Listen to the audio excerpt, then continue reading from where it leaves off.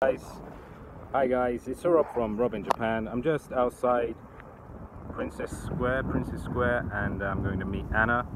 And uh, Anna's one of the girls on Asian Options website. And I'm kind of nervous because I've seen the pictures and she's a stunning woman. So uh, I'm gonna call them up right now and just uh, explain I'm gonna be two minutes away. And uh, here I go guys.